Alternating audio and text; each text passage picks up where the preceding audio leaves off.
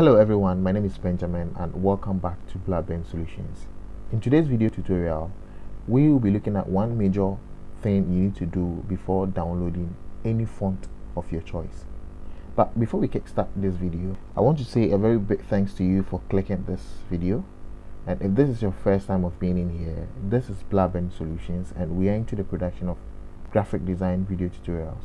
So if you think videos of such nature are of great benefits to you, then I encourage you to hit on the subscribe button and consider becoming a member of this channel. If you've already done all these, thank you so much for doing so. And if you're already a part of this lovely team, thank you so much for showing up once again. So without any further ado, let's quickly jump right into the video.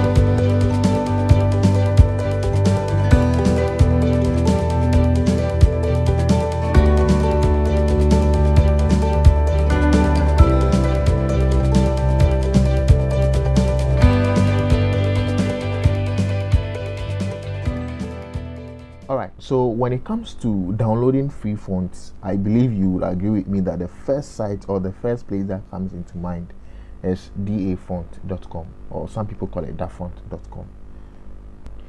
So what most people would do or what I would do most of times is when you go to Google, you just type dafont.com or dafont and you just click on the link and here you go. So this is how the site looks like. This is dafont.com okay but one one most important thing that we miss a lot when we come onto this site is what i'm about to show you.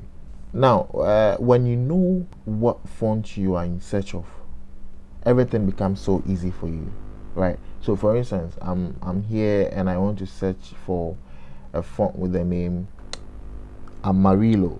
Um, amarillo all right? So uh, let's wait a while okay so there you go. So if you know what font you're in search of coming to da font becomes easy for you. So you just come in here click on download and automatically your font gets to download for you. So that is it. I i get to download the font free of charge. But what you need to do is to give credit to the author of the font. Or you can just come down here and click on donate to the author and at least give a tip to the author for providing you with such an amazing font.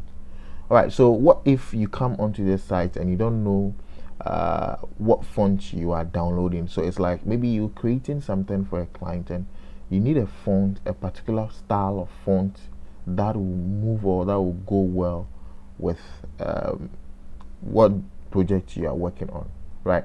So one thing you will notice is that the font has been categorized into uh, how should I put it, categorized into categories right? Good. So we have uh, fancy fonts we have foreign look fonts we have techno font we have gothic font. So these are the categories. So if the font or the style of font you are looking for falls within any of these categories then you just come under it. So let's say for instance i'm looking for a font with a calligraphy style right? So it's under script. So when i come under script i can see we have calligraphy school handwritten brush. So i'm looking for calligraphy. So i just click on uh, calligraphy and automatically it loads calligraphy stylish fonts for me and i'm able to uh, search through the range of fonts that I need. So that is another that is another step or that is another thing you can do. So it narrows your search down. You get it. So you don't need to scroll through this 500,000 different font types in order to search for that particular font you're looking for.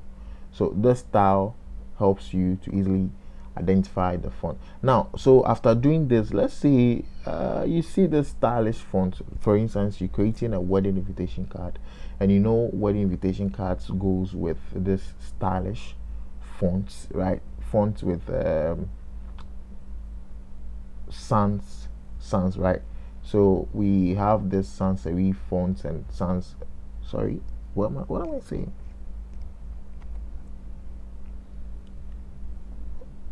so I, I, so sorry sorry sorry about that. What i was trying to say is uh, we have difference between the serif font and the sans serif font right? So the serif font goes with this stylish stylish style. So if you are creating a, a wedding invitation card you would want to uh, have the stylish uh, kind of font right? So you see this south southmore font and you kind of like it so you feel wow this font will be great for the uh, wedding invitation card right? So you go ahead and you click download and automatically your font downloads for you.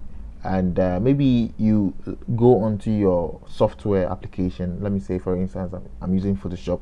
So once I go after downloading and installing the font once I go onto Photoshop uh, so let's put this into practice. So I'm going to open the font and um, I'm going to install it.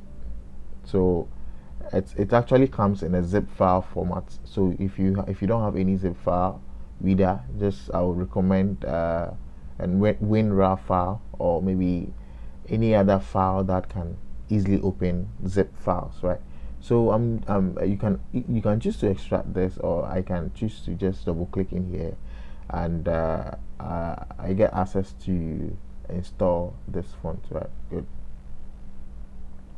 So the name of the font is Southmore right? So let's keep that in mind Southmore and let's head on to Photoshop. So Photoshop here I'm going to say uh, create new file for me. Create new file please don't delay me. All right so create new file. I'm, I'm not going to choose anything I'm just going to click on create because we're not going to do much more thing here. So so let's move on to uh, type tool and uh, all right so let me change this uh, the color of the font since the background is white. So I'm going to just type anything. So let me say I want to type Cynthia. Cynthia and sorry Cynthia and James. Good so this is Cynthia and James. So let's quickly check our fonts that we installed and see if south more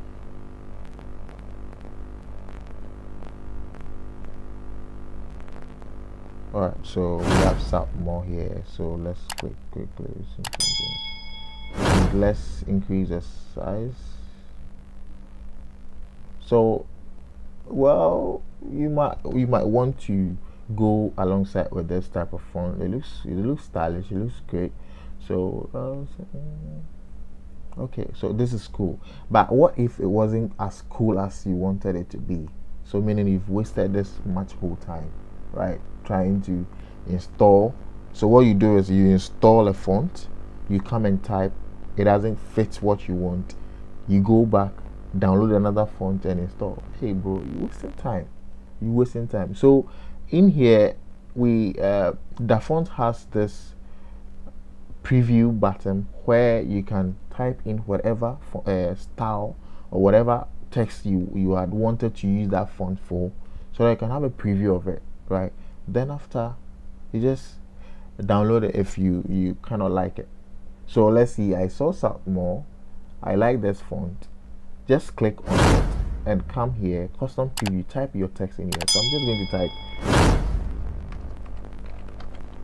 Cynthia and James. So just if you want it to be in a very big size you can choose large. If you want it to be in a small size you can choose small. If you want it to be in a tiny size.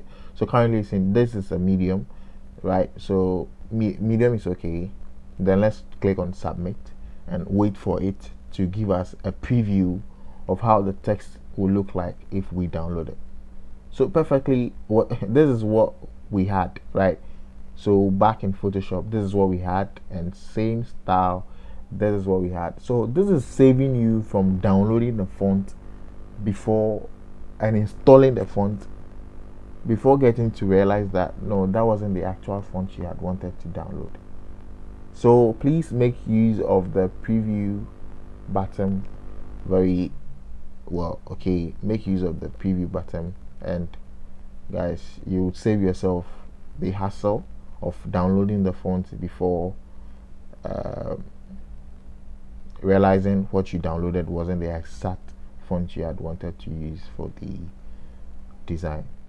Right. So this brings us to the end of today's video tutorial. I believe you've learned something new in here. If you did, please do well to give this video a like and also making sure to subscribe to the channel if you've not done so. Until I come your way next time, there is still Blaben Solutions and thank you so much for watching. Happy New Year.